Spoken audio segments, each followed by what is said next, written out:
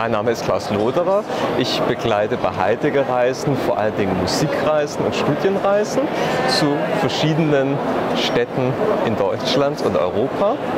Vor allen Dingen besuchen wir zusammen Opernfestivals in Italien, Ungarn, Österreich, England und auch Frankreich.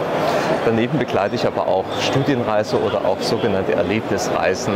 Also da gibt es verschiedene Reisen äh, von der Tulpenblüte in Holland über verschiedene andere Destinationen in Europa.